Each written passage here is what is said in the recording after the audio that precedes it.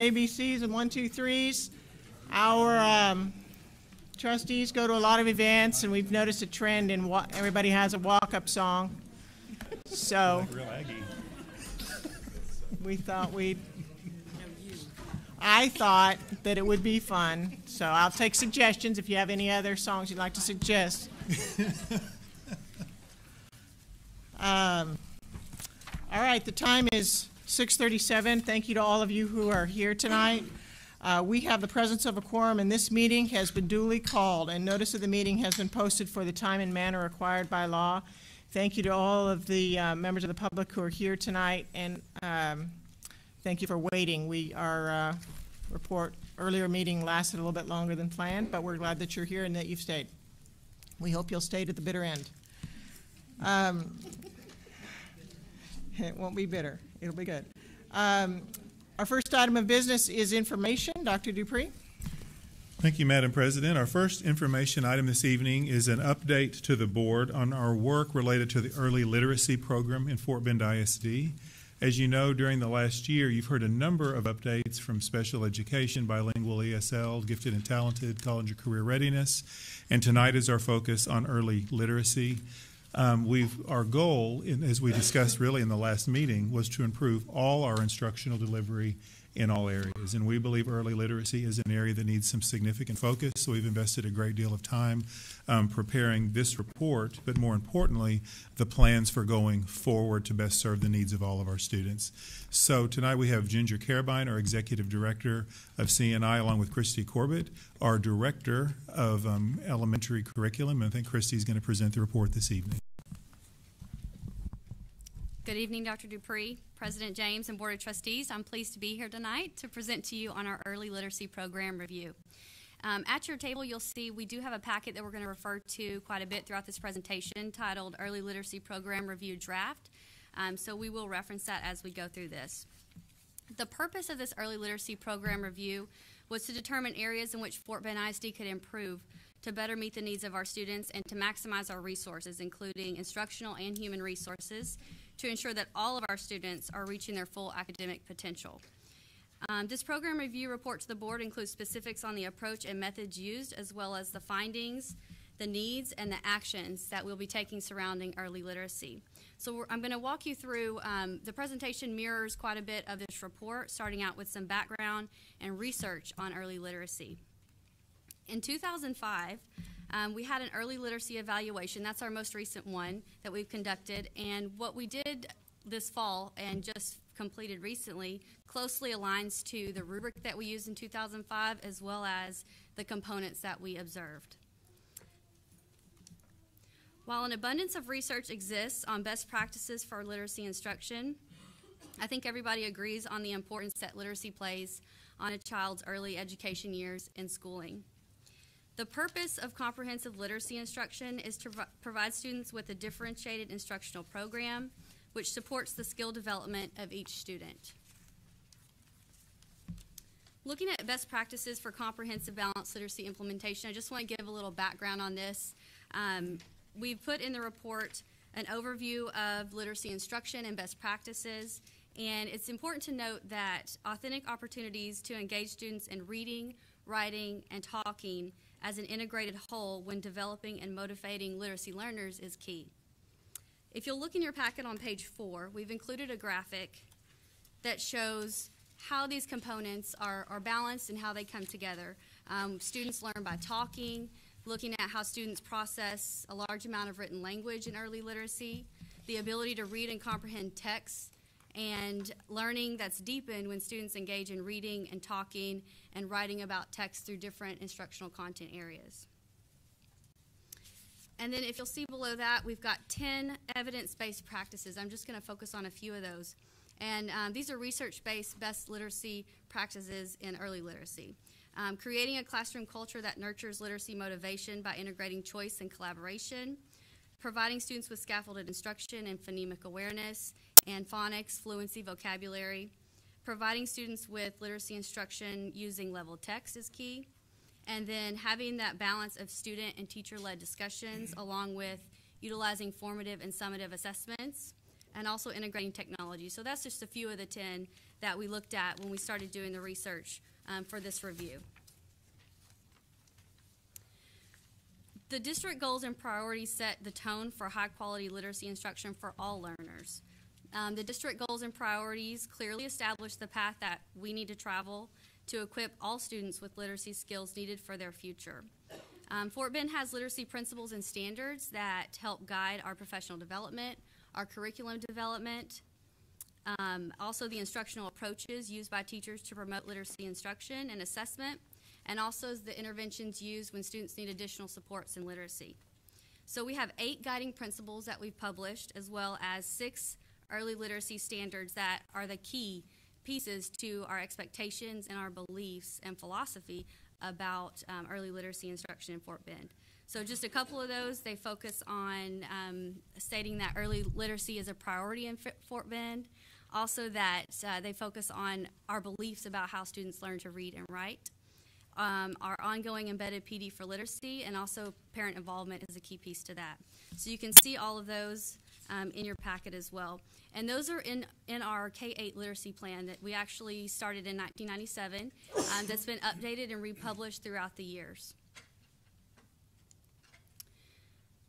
This represents expectations for classroom components of our comprehensive literacy classrooms.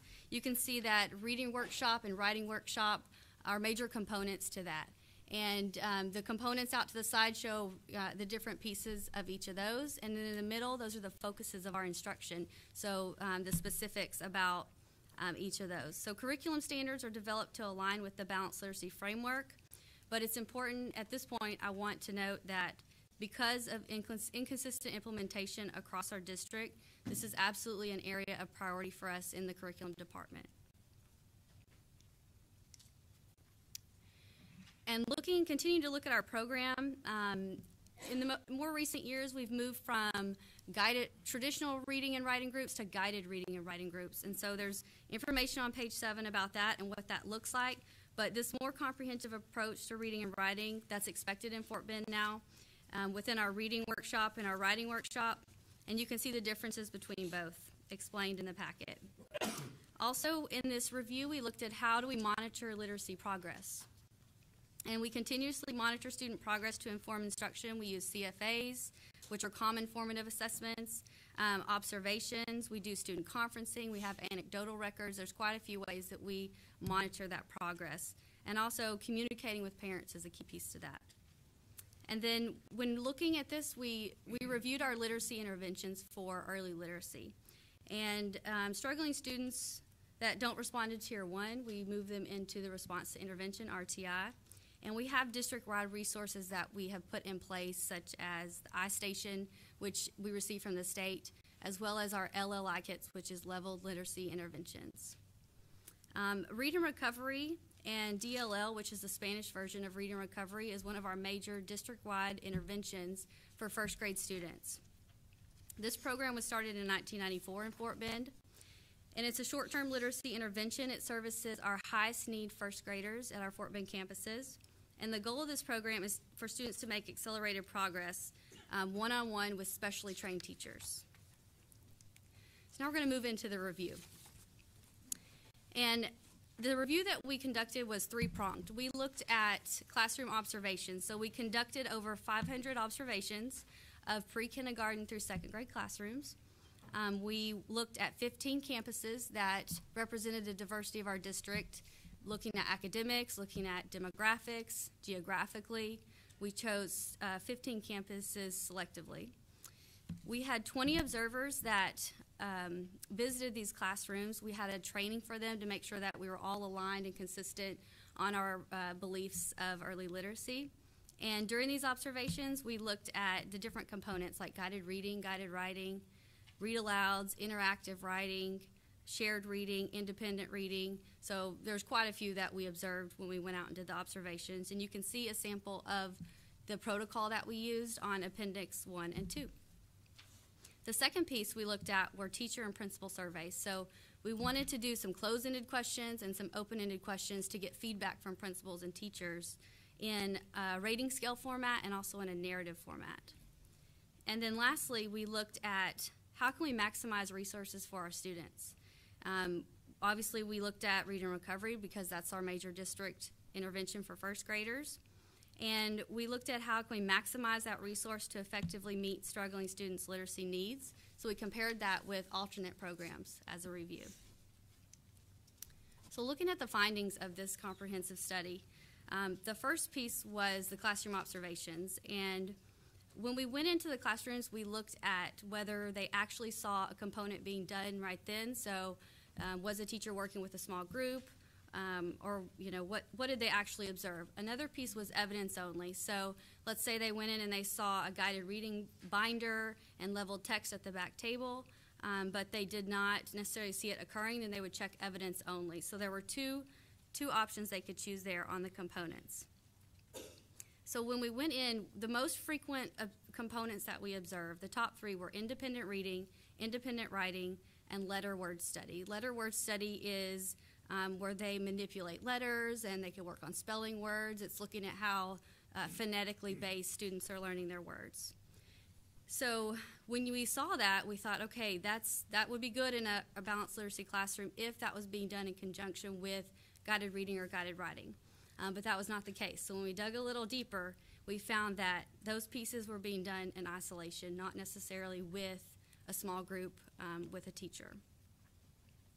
And we also saw a higher percentage of evidence only. We did not see as high a percentage of actual components being done at the time of the observations.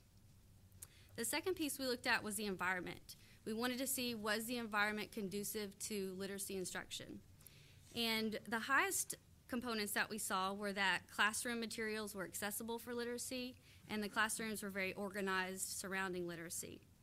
The least observed components were student writing being displayed and conversation levels being observed around literacy. So, based on all of that data, we can surmise that while there's evidence that classroom uh, environments exhibit the resources and materials needed to support literacy components, that they're not always being used um, consistently to support students learning with the gradual release model that's required in a balanced literacy program. So it's evident that specific elements are not being used to the degree expected, especially in the areas of writing. And then lastly, uh, we looked at how can we maximize our student resources.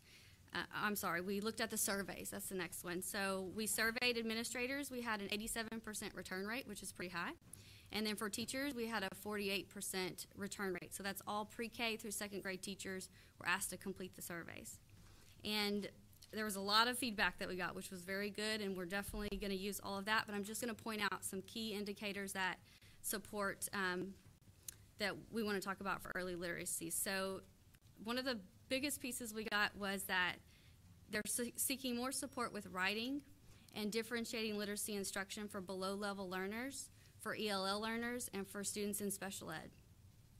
They also noted that um, they wanted more staff supports on campus with literacy. So there were words like, we need coaches, we want specialists, they want more support staffing wise for literacy. And then the last piece of the review was looking at maximizing resources. In an effective early literacy program, its management is based on maximizing resources in a way that's both educationally and fiscally effective. So, providing the best supports to the most students. Also, it's important to provide strong foundation in literacy and ensure that struggling students receive intervention and support as needed. So, when we looked at um, reading recovery, which is our biggest program, we did a cost effective analysis on reading recovery versus alternative programs. So, that has a model comparison that I want to point out. Our current intervention model is Reading Recovery Program, which has uh, two half day reading recovery teachers. At some campuses, some have more. But if we look at this base model, you've got a minimum of that at every elementary campus. So 2.5 FTEs service approximately eight first grade students um, per year.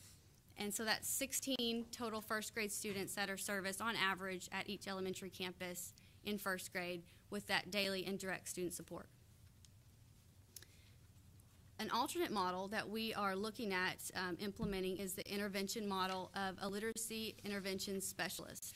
So, this would be one full time literacy specialist that would do intervention, um, push in, pull out, and coaching for approximately 56 students um, per day.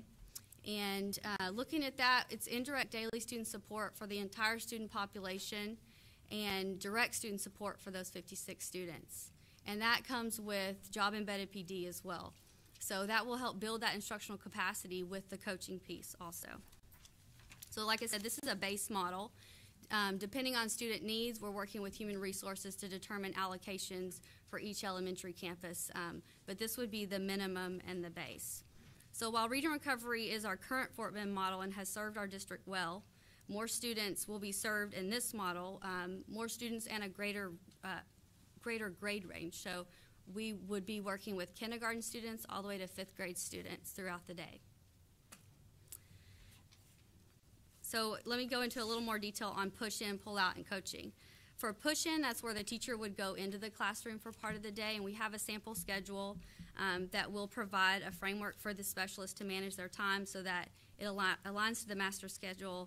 It's like a sample schedule that we provided. Um, so the push in, they would be going in, working with small groups of students, maybe at a back table. Um, for the pulling out, they would be able to take a small group to another room, location. Students, you know, five to seven per, per group is what we're recommending. And then the coaching piece for part of the day, they'd be able to go in and model, co-teach, um, and assist the teachers, which will help build that tier one and coach coach other teachers on the campus. And then the next piece we looked at was cost analysis comparison. So if you'll see here, we looked at the reading recovery program and we took the total, cost with benefits of our 108 reading recovery teachers in Fort Bend. And the 3.6 approximate million dollars is based on 108 teachers. Um, if they work, they're working with eight teachers. I'm sorry, eight students. That's 864 students served per, per year in Fort Bend, um, with a cost per student of $4,200. The literacy intervention specialist model um, would cost approximately $2.1 million with about 2,500 students served, at a cost per student of $862. So that's per year. So in closing, our needs and, and actions that we're going to take based on all of this information. The first one is our K 8 literacy plan. We, we really need to update and republish that, so we will be doing that um, in the upcoming months and the next year. And we need to provide clear communication of our literacy expectations to our principals and to our teachers. And we're going to specifically focus on the areas of reading and writing workshop and the gradual release model. The second action item from this review is that based on the findings that elements of comprehensive literacy are not being utilized to the degree expected, specifically in the area of writing, we're going to place a district wide focus on writing um, in curriculum and in other departments. And then the third action is what I just talked about is maximizing our resources for students by in, implementing an intervention literacy model that allows for a greater number of students to be serviced and a greater um, grade range. So that will help all students be served either indirectly or directly by this program. And we'll be working with HR on the allocations and the next steps with that. The fourth action item um, would be to develop and implement additional professional developments for all ELA and reading teachers and our administrators that targets reading and writing along with other components that were found most lacking in this report. The fifth action item is to continue to increase collaboration between CNI and our bilingual ESL departments, our GT department, and our special ed department so that we ensure that we're meeting all students' needs in um, relation to literacy. And the last action item is to continue to work with at risk on selecting, purchasing, and training for our tiered intervention resources for literacy intervention. Thank you for allowing me to present to you tonight. Are there any questions? Yes. Thank you, Ms. Corbett. Thank you very much for uh, your presentation. Uh, Mr. Rosenthal? Yes, thank you very much. Um, I actually spent many hours going through this report, and uh, so I have I have several comments. Um, uh, first of all, I have personal experience with reading recovery. Um, we have an adopted daughter who benefited greatly from this program. Um, so um, I do know that it's effective. Um, and we've read, at least I've read, I can't speak for anybody else, all of your emails, and I appreciate, I, no, no, I actually, I appreciate you sharing your experiences and the data, and, uh, and that, that means a lot, that you took the time to, to write, because I know that, I know that there's a lot of passion for this program. And, um, some of my concerns. Um, you know, we've seen a, well, let me, before I say that, I, I also like, like this whole balanced literacy model. It's obvious you're trying to get students to higher level thinking, which is the whole goal of teaching, um, as I'm learning. Um, and um, so I, I appreciate that, and, and I appreciate some of the research. Um, some of my concerns are, you know, we've seen a lot of a lot of programs uh, ever since I was a kid in elementary school. We went first saw the new math, and now it's the new new math and Common Core math, and and we went from phonics to whole language back to phonics because whole language didn't work. Went through outcome based education that didn't work. So. Um, my concern is always that you know we're we're going through and, and we're looking at new models, and um, we get rid of things that work. And um, If you can, please hold your applause, that'd be great. You can talk to Mr. Rosenthal afterwards. some of the um, some of the things that I noticed in the surveys were um, there's some big discrepancies, and I think you you kind of touched on some of these uh, between what the teachers thought versus or saw versus what the principals saw or thought. Um, there was one really big one that was, I mean, it was double. And let me find, like I said, I've highlighted this thing quite a bit. So let me find that one. Uh, here it is. On page 20. Um, where you're talking about differentiating literacy instruction. The teachers thought that um, they were 80% successful, and the principals saw 38%. So uh, I'm, I'm assuming that you know the actual or reality is somewhere in between. But really, to me, what a lot of these numbers showed was, um, you know, somewhere in the 50s and 60 percent on various things that maybe we're not quite ready um, to go full tilt toward this new model. And, you know, I also have a concern that, that, you know, we're spending, you know, $8,600 per student um, on this. And so my thought was, um, maybe instead of just throwing out reading recovery, just the whole thing, maybe we look at piloting some of this.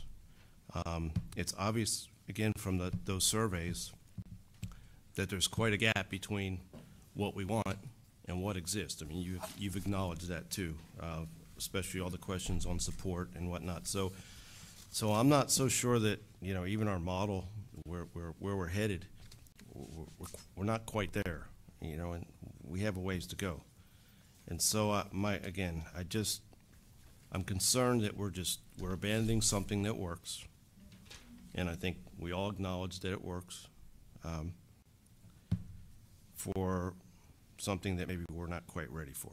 And so, um, my what I would I guess what I would like to see is maybe a, a pilot program to with data collection and assessment, just to make sure we know what we're doing. So. Thank you, Mr. Rosenthal. Do we have comments, Ms. Hollinger? Yes, thank you. I, I would definitely agree with Ms., Mr. Rosenthal on, on his um, findings. My son also um, um, impacted from the reading recovery. Um, I also have an adopted child that came into our district um, first year uh, first grade and went right into reading recovery as well and was successful in that. So, to add to all the things he just said, one of the concerns that I had was looking at the numbers. When we look at how we teach and how we, you know, how many people we, students we actually touch, um, and how effective that can be. So when I look at the numbers that currently we have, uh, a reading recovery teacher that, that services eight students for half a day. And normally that's a, a set period of time during the, during the school year, school day, correct? Right, it's 30 minutes a day for about 20 weeks unless they discontinue earlier than that. Right. And then for one teacher, one FTE, to be able to service 56 students, I guess I, maybe we do need a pilot because I don't understand how that's going to actually work. We have a sample of that. If you'll look on page 35 in your packet on Appendix 5, the second page of Appendix 5. We've got a, a base example of how that would work. Um, and I do want to mention that I did not talk about this, but the research-based instruction that we're going to be using um, in the literacy specialist model is LLI, which um, is a research-based program. It is leveled literacy intervention kits. We have those currently on our campuses. We purchased those for all K2 grades at every campus this past year. We have that in third through fifth grade for our title campuses. Um, and so we'd be looking to purchase that across the board um, and also in Spanish as well. But if you'll look on page 35, you can see that the pullout of K5 small groups would be done Monday through Friday for 30 minutes in pullout sessions, and that's about 180 minutes a day. And that would be considered tier three with a small group of five to seven students. And then the push in uh, or coaching could be uh, tier two with, again, the small groups inside the classroom, and that'd be 60 minutes, 60 minute sessions a day um, with 120 minutes total per day. And then the coaching model, um, that could be done for a, a portion of the day, 120 minutes is what we're proposing. And like in the first semester, they could focus on K2, and then the second semester, they'd focus on 3 5. So Okay, thank you. I agree that I think we need a pilot for this. This is substantially different than how we currently do business now when it comes to teaching our children um, reading. And I just don't understand how we're going to do this and be effective with it. And like like Dave said, we might end up finding that it's not a success. It's not successful.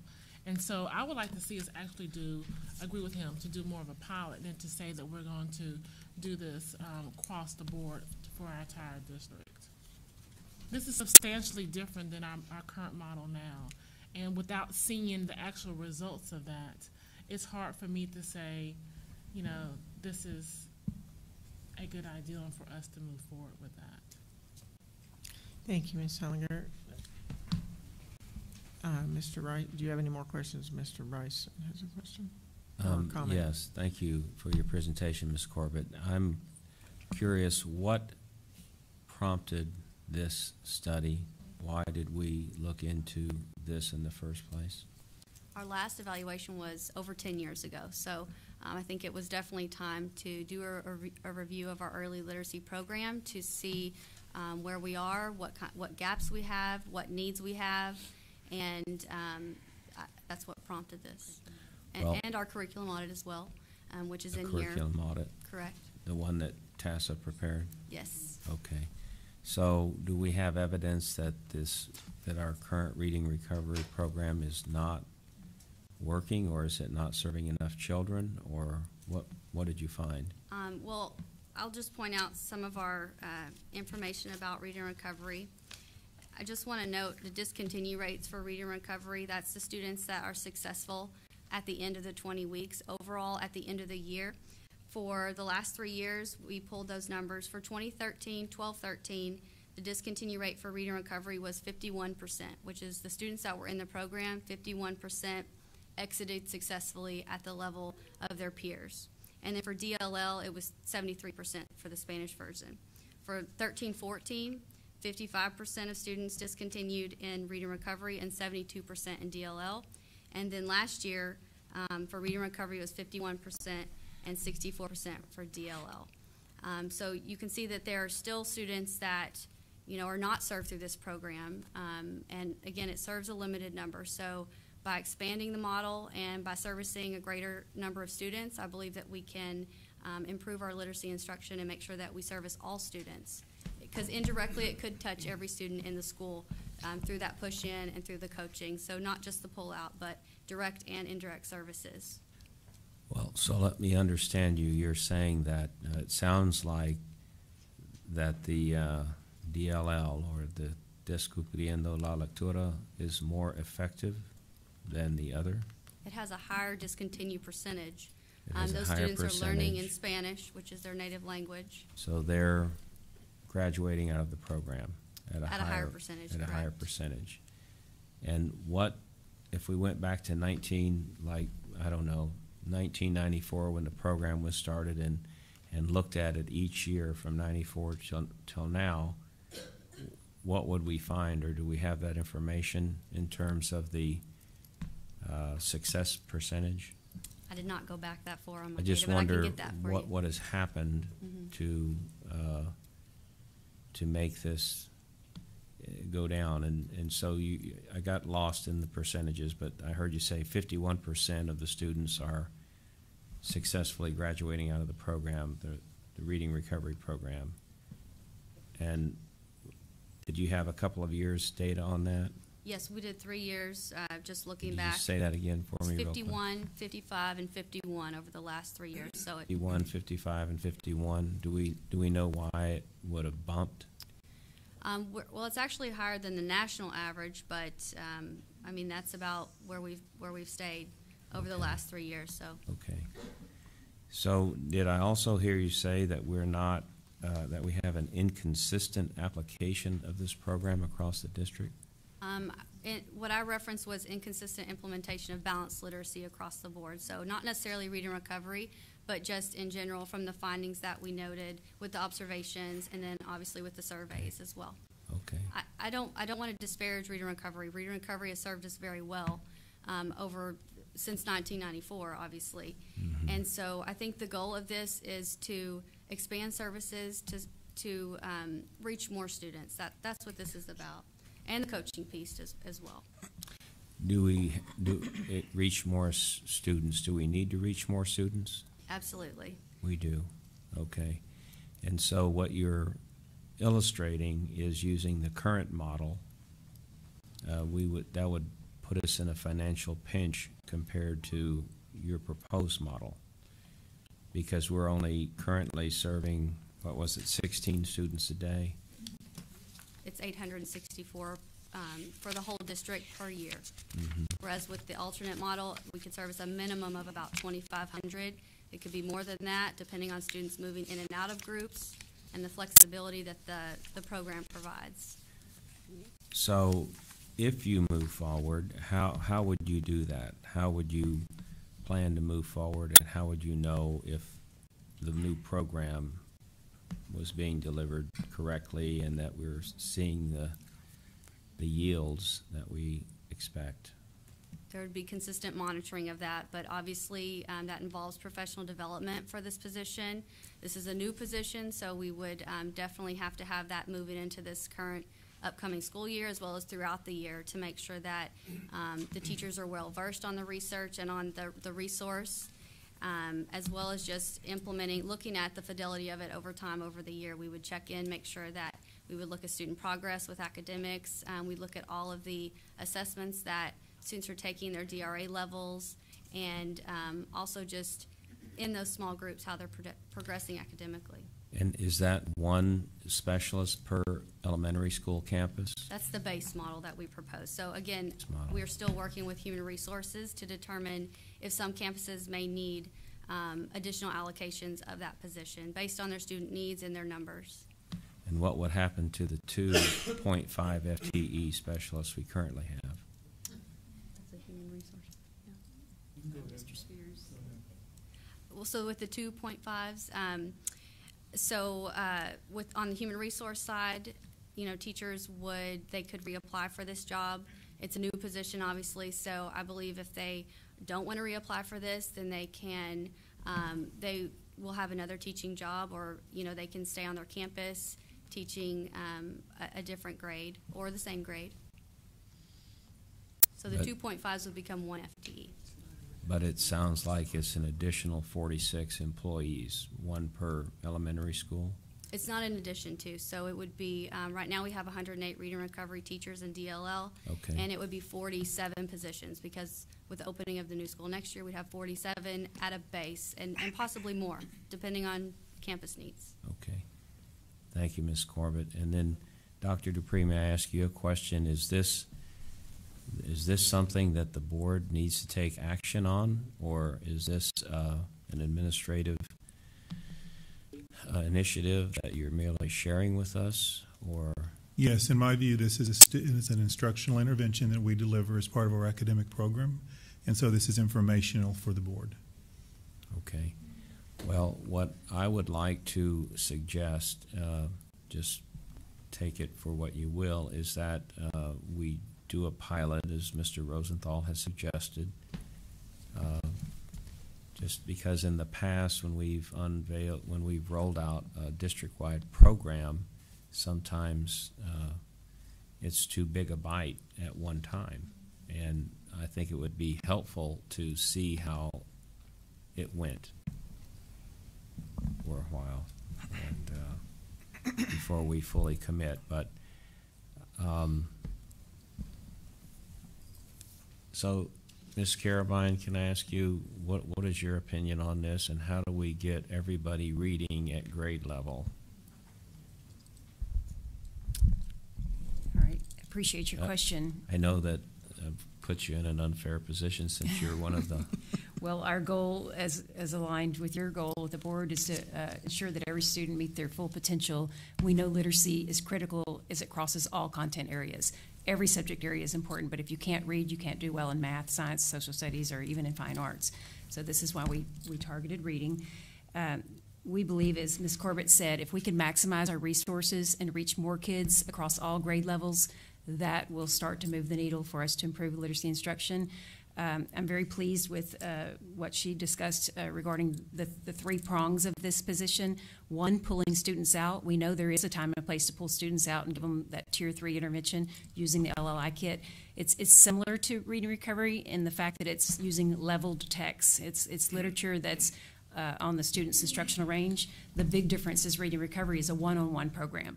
This is uh, more conducive to a small group program. And uh, the push-in model, uh, I know we talk a lot about inclusion, is when the specialist would go into the classroom and work with a small group of students, again, targeting uh, instruction with leveled literacy. And the beauty of, uh, of a push-in model is that uh, that serves also as a way to model for the teacher. So if it's a teacher of record in the class, they can watch this expert teacher in the room working with small groups of students, uh, learning from them and their best practice instructional strategies and implementing our curriculum. And then lastly, that coaching piece uh, is a wonderful tool for building uh, instructional capacity with our teachers. If we can improve instruction and do it right the first time, then we won't have to put as much emphasis on the, the necessity for intervention. So we're, we're looking to accomplish all that, pushing in, pulling out, coaching teachers, improving practice, uh, addressing this through professional development, uh, ensuring that they're implementing the, the written, taught, tested curriculum. Uh, we desperately want to close the achievement gap across the district, and uh, we believe this is, is the next best step. It's, uh, it's a great way to maximize the resources we have. Um, were I a reading instructor and I wanted to apply for this position, how would you train me to do this and when? Okay, we've, we've talked about that. Uh, to, to hire the person, we've talked about the central office partnering with the Department of School, uh, the curriculum department partnering with the School of um, uh, Teacher Development Department, as well as our assistant superintendents, and forming an interview panel, uh, of course, consulting with our principals, making sure we're meeting the needs of their campuses. And we would screen the applicants and form a pool of people meeting certain criteria uh, as determined by the job description. And then once we create a candidate pool, then the principals would interview from there, knowing that all these people would meet the criteria. And then once hired, uh, we know professional development is critical for this to uh, be successful. So we've already met with Stephanie Williams and her department, and we've looked at the calendar, and we've even uh, identified days that be most conducive for uh, front-loading the PD, bringing in the, the vendor of the LLI kit, so we have the professional trainers in hand to work with them directly. Um, We would meet with them before school starts. Uh, A prime opportunity is that first week of school, when the student's in class. We obviously wouldn't pull kids out of their class to do any of this until they get settled and they start to build a relationship with their teachers. And we uh, gather some data to identify the students for, for these groups.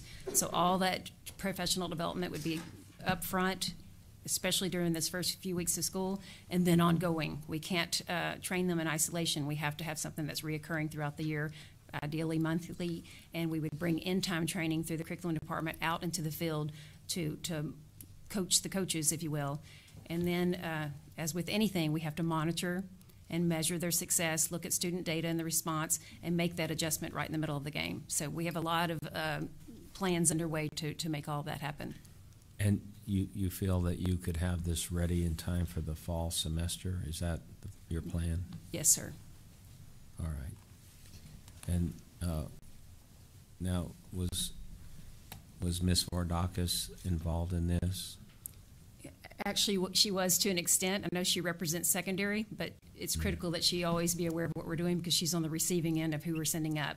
She was pleased to know that this, uh, we started with a, looking at early literacy, but with this particular model, we believe in addition to serving kindergarten, first and second, we can serve third, fourth, and fifth. And you know how important it is to prepare fifth graders to transition to middle school. So there is that uh, alignment with them as well. And Dr. Garcia has also been involved in the conversation with English language learners, our bilingual students, and even our special ed departments, um, because we're here to serve all students. Thank you very much. You're welcome. Thank you, Mr. Rice. Uh, Mrs. Tassin, questions? or Thank you, yes. So first off, I want to thank you guys for doing the study. I do think it was much needed. Um, Most everyone here knows that uh, I have a daughter that struggles academically and specifically in reading. So I actually have a lot of experience with not just reading recovery, but a lot of other evidence-based reading programs um, that are not available at every campus. Um, I, I also want to echo Dave's um, gratitude for all the emails. I've also read every one of them, and I, I personally appreciate getting that uh, kind of information from parents and teachers and former teachers because it informs the decision. So, uh, eh, it, you know, sometimes we sit up here and we sit in isolation because we're not allowed to talk to a whole lot of other people about it. So it does help whenever we get that kind of feedback from you guys. So I want to say first off, thank you for that.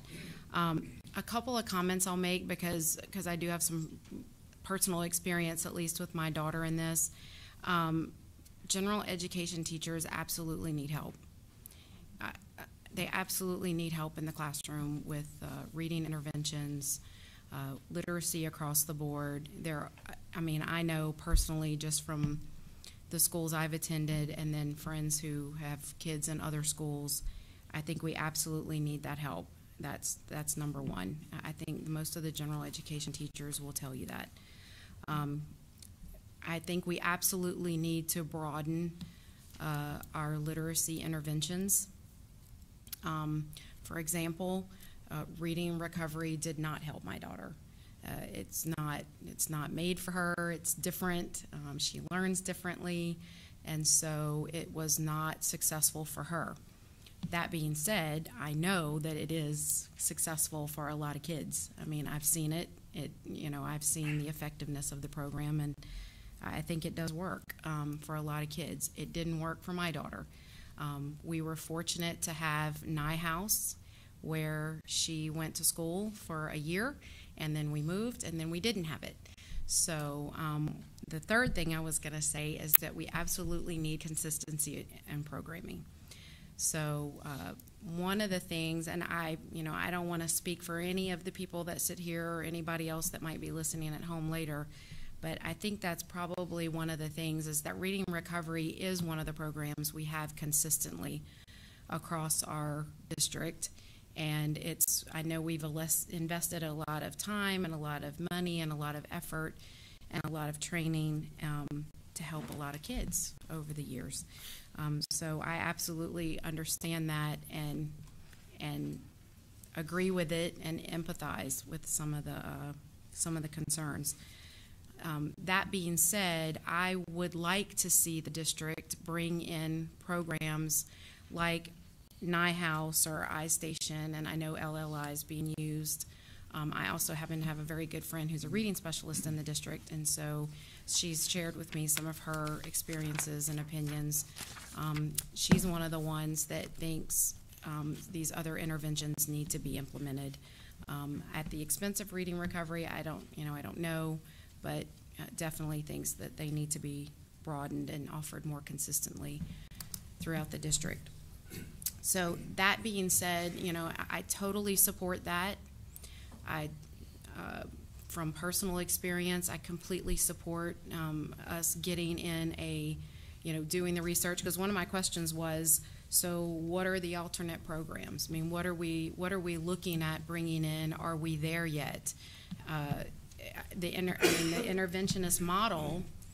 Um, you know, I don't know about feasibility. I was, you know, at, that was one of the questions I was asking um, my friend is, what do you think about feasibility? But more importantly, what programs are we going to be implementing for our kids? Because I'm assuming we're going to have to bring in an evidence-based program because that's what we do. So I'll let you answer that. Absolutely. So we do have all of those programs currently in Fort Bend. The Neuhaus is used by reading specialists um, for dyslexia services, and that's a great program. We've been using it for a long time. We're very pleased with how successful that is with our dyslexia students. For iStation, um, we did receive that as an intervention from the state, and um, they were out in RFP for a little while. It just came back, so we're going to start using that again. I think it was out just for last semester, um, but that's for three through five, and that targets Right. intervention for our struggling um, literacy learners as well. And it's a computer-based program. And then LLI, we've been using for quite a while throughout the district. It's been inconsistent because campuses purchased it on their own. Um, Title purchased it for title campuses, but we really moved forward with doing it district-wide. Um, last year, we purchased for every campus, K-2, and then 3-5 for title. So we want to expand that even more, especially with this new model that um, we're going to be using because it is going to be the LLI program that, that they'll be using um, with the literacy specialists. So that's what you're proposing is using Correct. LLI with the interventionist. How effective have we seen LLI in this district? um, vary. There's a lot of research actually that um, we've looked at to determine which resource would we want to use for this specialist position. And, um, you know, we've, we've used it, like I said, for, for a long time, and it, it is very effective. We don't have any number, I don't, any I don't data. have the numbers in front of me. You have the- no. So I would, Could I we, would. could we get those, Yeah, could we get that. that information, Yeah, please? that would be great to Okay. look at. Um, So, one- one other question about staffing. We, we have hundred and eight reading recovery specialists. We're talking about replacing that with, did you say forty-seven? As a base, forty-seven Interventionists. specialists. So that leaves sixty-one teachers. Reading recovery, I'm I'm just doing the math, because sometimes, you know, I'm, a- I'm a math girl, as you know, so I'm doing the math. So we have, is that, am I not doing it right? Well, Sixty-one teachers, no, you're doing it right. It's the, Okay. it's the teaching unit because they're, they're fifty percent. right, I understand. They're fifty percent reading recovery, fifty percent teacher, mm-hmm. teaching. So, but that, but that also means that we have to find a full-time teaching job Correct. for sixty-one, assuming that reading recovery teachers would become interventionists. So I'm just doing the math, you know. Well, and our reading recovery teachers are our most highly trained literacy teachers in the district. Yes. You know, they are great at what they do, and so we would hope that they would apply for this position. Um, it's a little different though with K five. So if they are not interested in that, or they or they don't want to apply for it, then obviously uh, we would place them in teaching positions. We're not talking about No. cutting staff. No, no, we, we definitely, we need them, we want them. Like I said, they are very effective at what they do. Um, and so we have discussed that with HR to ensure that um, they would be able to stay on their campus or go to another campus. Principals asked, um, could they keep those teachers there? And so absolutely, they would get first choice of if a another position open on that campus, another grade level, and they wanted them to stay there, they would be able to stay at their campus, hopefully, if there was a position open. If not, um, they would go to a different campus and a different grade level, Okay. or same grade, same grade level, maybe. Okay, so thank you for answering my questions, and um, I know that we, we might not get a vote on this, so I'm gonna give my two cents, like, uh, like some of the other trustees have. Um, I, like I said, I fully support broadening, expanding, consistency. I think there are a lot of kids out there that we're not helping that we need to help. That being said, I have to agree with a phase in, phase out type of delivery because reading recovery is not just a big program in every, almost every elementary campus, um, but we have a lot invested in it. And it concerns me that we would sort of um, rip it out so quickly without having that, you know, without having some kind of phase in training. Um, you know, it just that that part of it concerns me as well. So I have to agree with my colleagues that, um, you know, I don't know if it's a pilot program or if we phase in or if we choose campuses um, and see how it goes. Thank you. Thank you. Mrs. Tassin. Uh, uh, Mr. Birdie. I wanted to, excuse me, I wanted to thank you for reviewing this. Um, I'm really alarmed that roughly 50% graduate the program, and to me, that's that's not success. Um, I'm not discounting the program. I understand that there's a lot of students that benefit from it. I've got some personal family friends that um, have benefited from the program, and I have some neighbors that have not. Once again, 50% is not acceptable. Um, and I appreciate that you're looking around the corner something that will um, maybe once reach more students, but obviously work. Um, there's three things that I that I want. I'm not going to really going to say one way or the other, but once again, Mrs. Tassin touched on this: is is consistency, access, and some type of measurable success. I um, I was thinking here as we were talking about it as well. I know some students do learn better in the group setting, so I think that may be part of some success that, that we may have versus one on one. So once again, I'm not in the classroom every day, and, and that's not for me to decide. But once again, consistency, access, and measurable success are what I ask what I ask for moving forward. But I appreciate you looking at something different. Once again, 50% is not acceptable. So thank you. I appreciate your hard work. Thank you, Mr. Birdie. Mr. George. Yeah, uh, and also I, I greatly appreciate, you know, because it's always, uh, what do you say, change is uh, hard, you know, and I understand, and you're looking into something moving forward. But I wanted to ask you this question, few questions. Um, is right now this is done K through two, second grade? Is that is that correct? recovery, Yeah, it's only first grade students. first grade students. Correct. Okay, so explain to me, are we going to do the same thing with a fifth grader? As far as what's being done in reading being, recovery. being proposed? Um, so it's going to look different. It would be the literacy specialist, and she's going to be use, he or she will use that uh, leveled literacy intervention resource. And so it is going to look different from kindergarten all the way to fifth. So with the upper grades, you may be doing more of literature circles. You may be able to have maybe a bigger group um, with the older students, and then with the younger students in primary. Um, you may want to have a smaller group, you know, so it will look very different because of the age difference in the students. Right. The reason I ask that, as far as I'm concerned, if they cannot read, they shouldn't be in fifth grade to begin with. That's my feeling about it. So again, that's my feeling. So um, another thing I wanted to ask, and also concerns me, is that is that fair to say that economically disadvantaged student and also minorities predominantly participate in this program?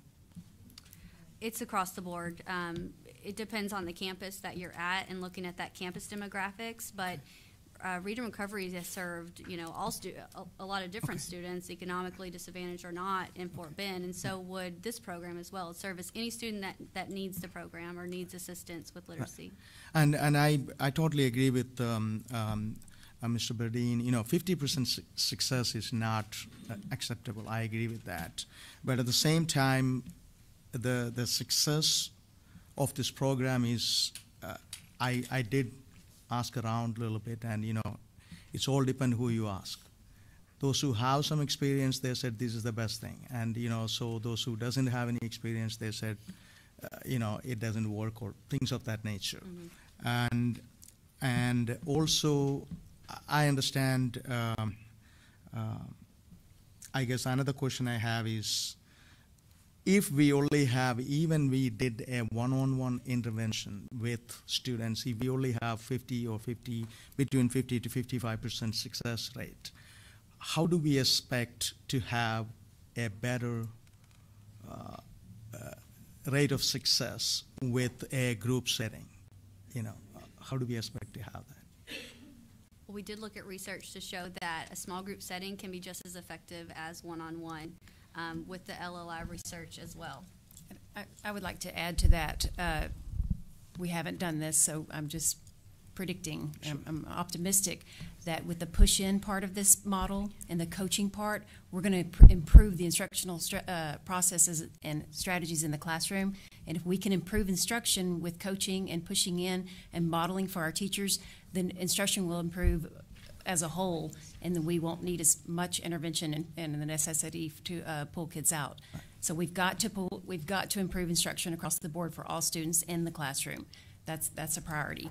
So we, we're very optimistic that with this model, because I know, as as Christy said, Reading Recovery's you know done a great job with what they do, but when we go out and measure what's happening in the classroom and balanced literacy is not where it needs to be, there's a disconnect. So they might be pulling kids out and closing gaps and doing great things in the one-on-one model, but when we send them back into the classroom, especially in subsequent grade levels, since we don't serve st- students in second, third, fourth, and fifth grade, uh, we're not sustaining what they've been doing. So with this model, we could sustain uh, good instruction over time. Okay. And you mentioned we haven't done this. So I want to echo on uh, all my colleagues said, uh, Mr. Rosenthal and others. How do we know? I mean, because we know this work up to a certain extent, for sure. And, but we don't know how it is going to work out what we are proposing. And I, I 100% agree with my colleagues here, and I believe we should pilot it and see the success ratio. And, and I, Mr. Tassin said about phasing out. If that is, if the research or the, if the result shows that is the better way to do it, I, I think we should move that direction. And I, I 100% agree with my colleagues. That's my uh, As we close this discussion, I, there are a couple of things that I'd like to bring forth. And the first thing is that reading recovery has served our district very well. And when we met with the teachers the other day, we acknowledged that. And I want to be sure that we put that out there. Uh, but Fort Bend is not unlike the rest of Texas. There are only about 14 school districts in Texas still doing art, uh, reading recovery, and of the largest 25, I believe there is somewhat of a model in two. And that is because of the rapid growth and the changes in demographics in our state. And we just saw the TAPR report. And one of the things that I think we have to consider as a district is that while reading recovery has served some of our very lowest and most uh, challenging readers in first grade, we, we have students because of our mobility that come here in second grade, in third grade, in fourth grade, in fifth grade. And they too have needs. And we have a moral obligation to serve the needs of all of our students. And that has been the discussion to meet the board's goal so that all students could reach their potential. And it is not that reading recovery is not a good program. And I want to I want to go on record saying it is not. And we have some very fine teachers who are well trained and we've talked to the coordinators about helping in this training and and management and helping to us to make this a success. We just are a district that has a lot of mobility, a lot of diversity, and our demographic needs are changing. And we're going to have to change to meet those needs. And that is the basis of what is behind this change. Thank you. I just wanted to add and also appreciate all the emails I have received and I didn't know much about. I knew there was a program like this in our district, but I I learned a lot about it last few days, you know, like because because I talked to a lot of people because I didn't know. I, I'm not an expert in it, so I talked to teachers, I talked to reading recovery teachers and administrators. I started from home, you know, we have a teacher in-house. So so I learned a lot and I, we greatly I greatly appreciate your emails because same way we all you know, we all learned a lot about it and appreciate what you all do. Thank you. Thank you, Mr. George. Uh, Mrs. Tassin has another comment. Yeah, I just wanted to make one comment because one, of the things I appreciate, uh, or two of the things I appreciate. Number one is that every child learns differently. And so while one on one may be great for some kids, group may be great for others. And so um, I have a lot of experience in this area because I've been told many, many times over the years that my daughter was going to do better with one on one when in fact she does better in a group inclusive setting. So I see both sides of it. I absolutely see both sides of it because there are kids with autism or with other reading issues or dyslexia, which I know is one of the big reasons that we are we're looking at this that need the one-on-one and they need that that pull out. So I just wanted to to say that just to make sure that you know that we're all understanding. And you know, I, you had a comment that if a child can't read, they shouldn't be in fifth grade, and I take exception to that because we have lots of students, you know, my daughter being one of them, that struggle with reading all the way through. And so, uh, first grade intervention and that's that's one of the re- reasons reading recovery didn't work for her because a first grade intervention, a, you know, a one year intervention, or even as even as that benefits many kids throughout second, third, fourth, and fifth. I understand that. But um, we have lots of students like my daughter that need those interventions all the way through.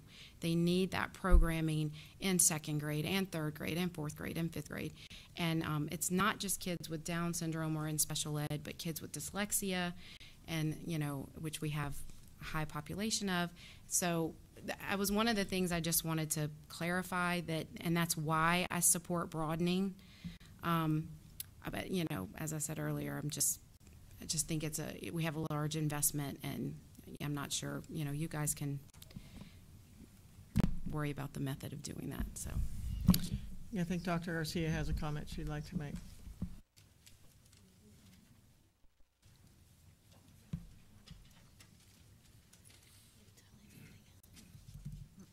Uh, thank you. I'll try to be as brief as I can, but this will give you. I participated in the work uh, with these ladies, and I'm over the dyslexia program. Um, I also have uh, Michael here, Michael Ewing, uh, if he wishes to say something. But I want to just give you a different perspective, maybe the balcony view of where we are. And uh, I'll begin with some of the comments that Ms. Tassin made earlier about Neuhaus. We've had five meetings with the new CEO of Nye Neuhaus, which is Tracy Whedon. She and I work together in Houston. So she is very, very uh, willing to come and support us and also help us write a grant to the George Foundation because I'm telling her that we need a lot of help. And I want you to see that picture as well. Uh, I said to her, I don't know if I'm going to have the money, but if we help write a grant, can you help us? And let me tell you where that help is needed, okay?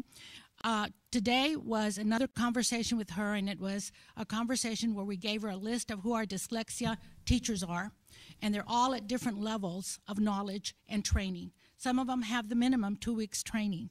That's the minimum. Some, and so a lot of them have never done their practicum, have not. So I'm giving you a, another perspective of where this district is, and I hope you forgive me, but this is the way I am. I just know how to be honest and tell you what I'm seeing from another side. So we have these dyslexia teachers on our campuses. They are, the law says the first kids they have to provide services for are the 504 protected children that have dyslexia and the special ed dyslexia children. The other thing they're supposed to do, which is they must walk on water if they can do this, is also go in and do everything that Ginger said with the regular ed teacher. Coach for them, show them how to teach, push in. There is absolutely no time for that. Okay, they cannot do that because they we have a large population of kids with dyslexia. So, in order to get to what our children really need, we met, we discussed before we ever even talked about anything else. We were just talking, focusing on the children and the teachers. Mr. San said our teachers need a lot of help. Amen. They absolutely need a lot of help. Neuhaus is a great program. Absolutely, it is. She's going to send me a, a bid about what it would take to do three pathways for our current dyslexia teachers to get them a little higher level in their skills. Now, if, if money were no object, I would say every one of those teachers need to be fully certified, you know, and have a practicum. That would take a lot of money. Uh, so we're going to do the best that we can because that's what we do. We do the best that we can with what we're given. Uh, so the the conversation began by my going to my own boss, Dr. Hill, and telling her that if our dyslexia teachers were going to be expected to also come in the classroom and not just work with the 504 children, we would need 30 teachers. Okay? And so she she she didn't laugh at me. She didn't run me out the door, but she said, "Go back to the drawing table and see what else you can do." So Michael and we sat there and I said, "Well, we could make it better if we had 15."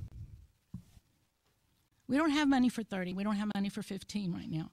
So then I said, we could do just a little bit better. Not where we need to be, if you at least give us 10, and we'll deploy them from central office to the campuses that have the most need. It would be a patch, you know, it would be like a band aid.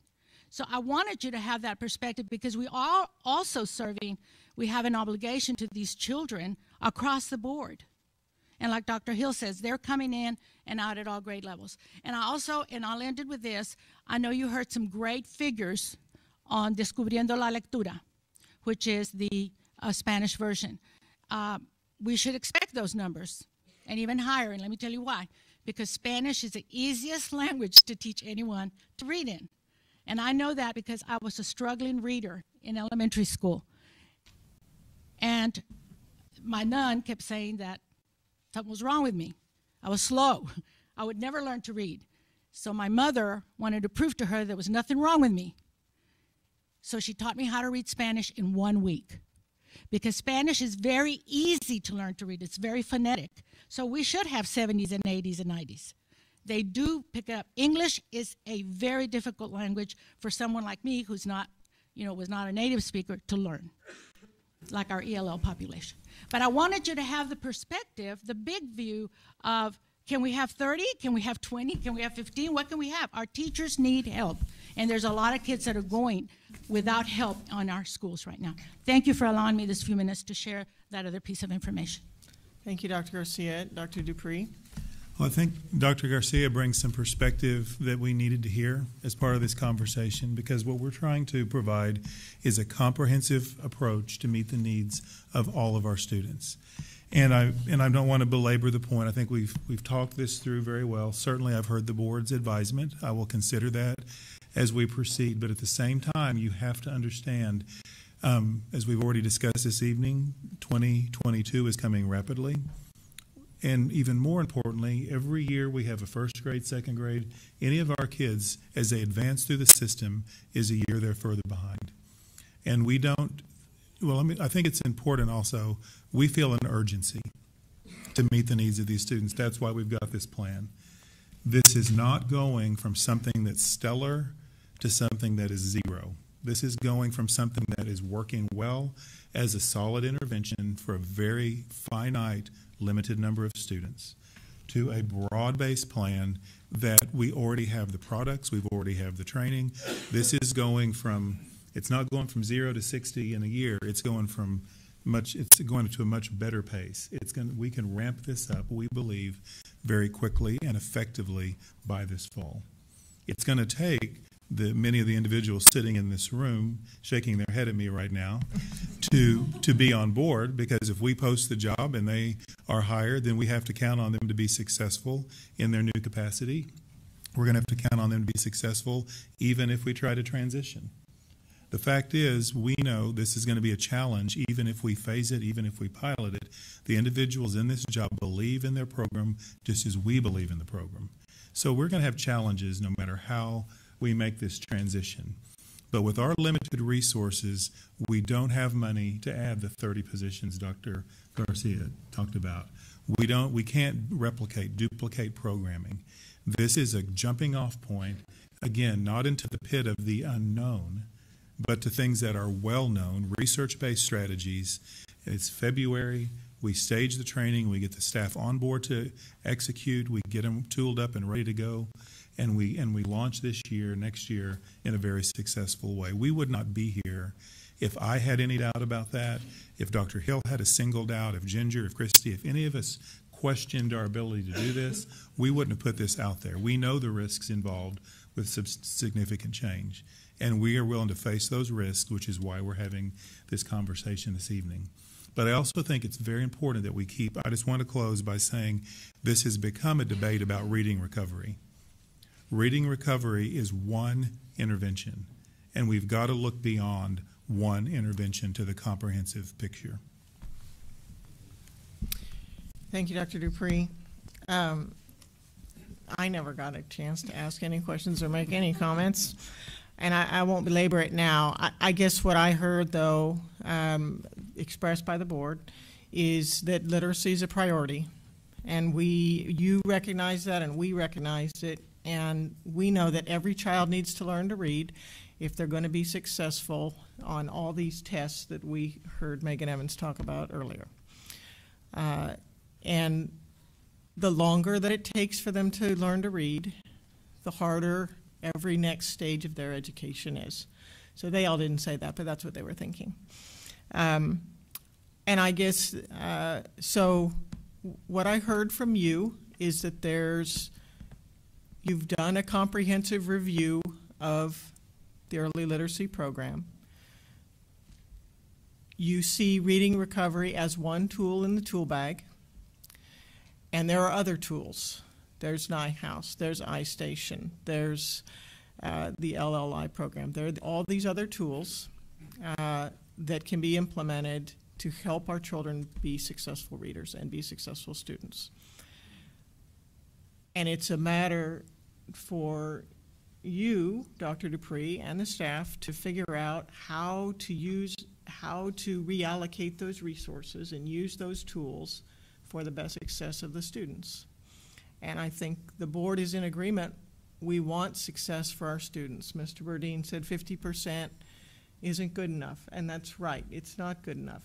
But 50% is 50% of the kids that responded to that intervention, and that is good.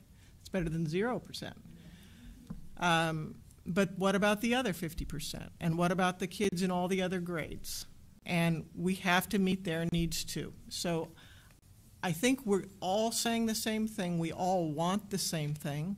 There's a lot of people sitting out here tonight that are worried about change and they're worried about what they've been trained to do for a long time and where does that fit into this because they feel like They've worked hard. It's been something that's been successful. They've seen success in students. And why should we throw that all out the window? What I think I'm hearing you say is we're not throwing that out the window necessarily. We're using those skills and those strategies, but maybe doing it in a different way.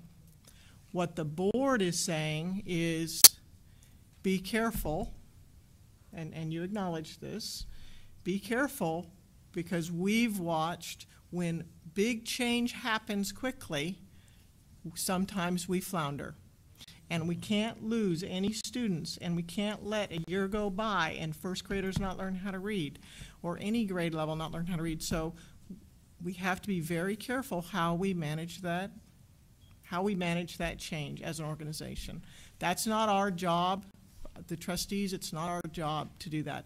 It is our job, though, to hold you accountable for making sure every student does learn how to read so that they can be successful uh, on these, you know, state tests, horrible, I was going to say that, miserable state tests and, and the whole long string of these things that they have to go through. And if they don't pass, they just have to keep taking it over and over. Uh, and that's a miserable thing. And we don't want, we don't like that, and we don't, you know, we struggle with that too. So anyhow, I guess